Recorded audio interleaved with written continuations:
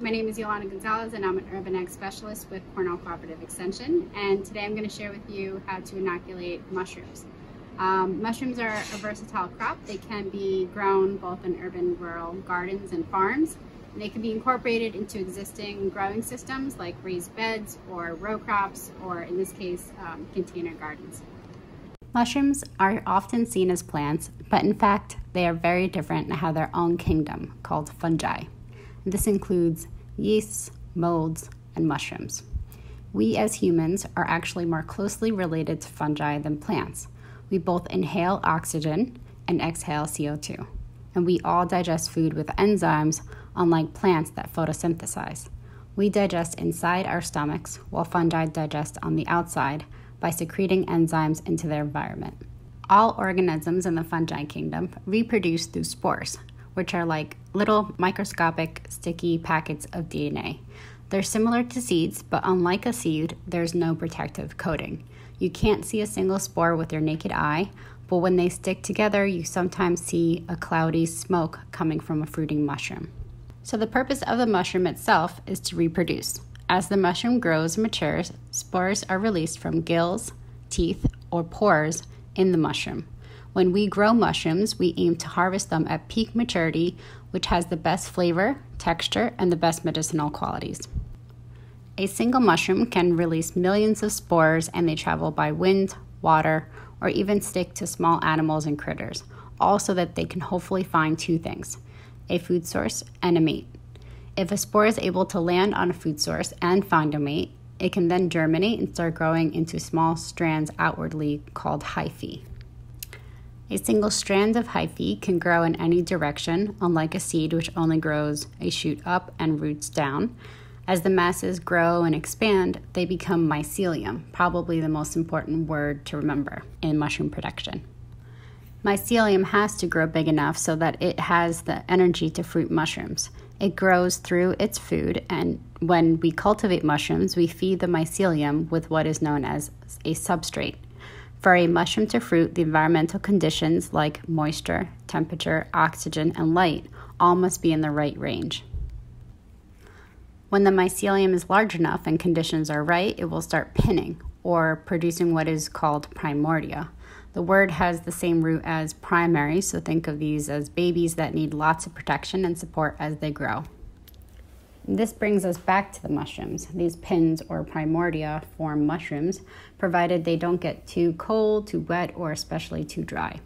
What is most important to remember is that as mushroom growers, your job is to support the healthy and rapid growth of the mycelium and then provide the right conditions for the primordia and mushrooms to form. Again, those conditions are temperature, humidity, oxygen, and light. Hi, I'm Jejin from Pure Aussie. I'm excited to join Yolanda here at my garden today to share with you how to incorporate mushrooms into your existing gardening and farming practices. There are so many good reasons for integrating mushroom cultivation into your garden or farm. Mushrooms are a powerhouse of nutrition. They're cholesterol free, low in calories and fat. They provide fiber, antioxidants, essential minerals, and all nine amino acids essential to humans. Common edible mushrooms such as button mushroom and oyster mushroom contain about 20 to 35% of protein by dried weight. Mushrooms are also virtually the only non animal food source that contains vitamin D. D. Mushrooms have been used as medicines for centuries in many cultures around the world. Ancient Chinese considered lingzhi or reishi the mushroom of immortality, and the reported use of lingzhi dated back to 200 BCE. First peoples of North America have used puffball mushrooms as wound healers to treat bleeding and prevent infection. Ötzi, the Iceman, who lived nearly 3400 to 3100 BCE, carried a birch polypore to help him survive in the Alps of northern Italy. Mushrooms are nature's recyclers and they are able to break down nearly any carbon based material. It's just amazing to think about their ability to turn all sorts of agricultural waste, such as straw, corn cobs, and forestry waste products like tree trunks and logs into food medicine. By breaking down tough, carbon rich material, mushrooms help to unlock nutrients in the soil, enhance overall fertility, and increase the water holding capacity of the soil. Much like people, mushrooms need the following things to survive food, water, light, oxygen, and temperature. There are two main mushroom varieties that work well in a garden setting wine cap mushrooms and almond agaricus.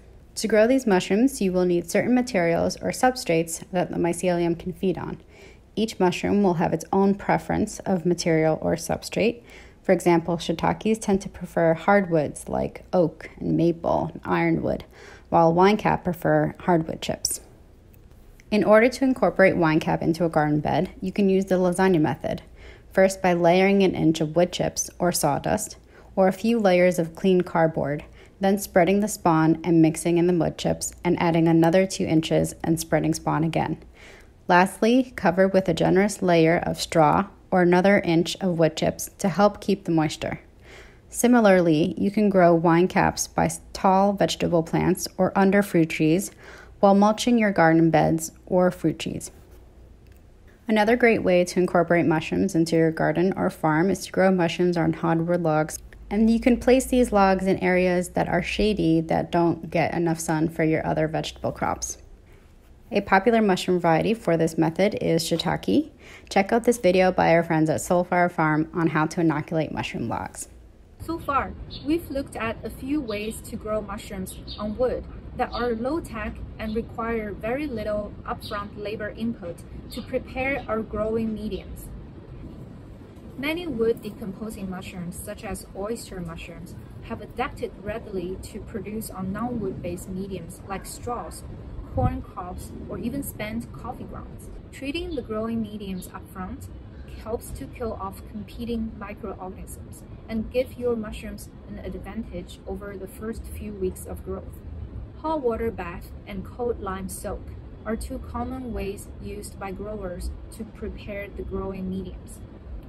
First, shred the straw into 1 to 3 inch pieces. To treat the straw with heat, submerge the substrate in 150 to 180 degree water for 1 to 2 hours.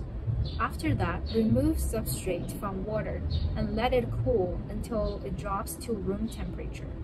Mix mushroom spawn into the straw and pack them up tightly for inoculation. For cold lime soak, add hydrated lime to water until a pH of 12 to 13 is reached. This is roughly half a cup of hydrated lime for 14 to 16 gallons of water. Soak the straw in lime water for 6 to 12 hours. The rapid shift in pH helps to kill off most microorganisms. But note, this method may only work for a limited variety of mushrooms, such as oyster mushrooms, which can stand such a pH change. Another low input way for treating the substrate is cold water fermentation. In other words, just soak the substrate in still water for 5 to 15 days. During this process, anaerobic bacteria will become active and eat up dormant oxygen-loving bacteria and mold spores. Once the water becomes stinky, it means the fermentation was successful, and you will then remove the substrate from water and drain off the water. During this draining process, the anaerobic bacteria will die off and leave the substrate clean for inoculation. This method may sound a little messy or smelly, but it's quite powerful as you don't need any additional energy input, which means you can do it anywhere as long as you have access to water. Last but not least, a fun and very convenient way to get some mushrooms to grow in your garden or farm is to use spent mushroom blocks. Many commercial farms only harvest mushrooms once and discard the blocks to make room for new blocks. These substrate blocks can still be quite productive.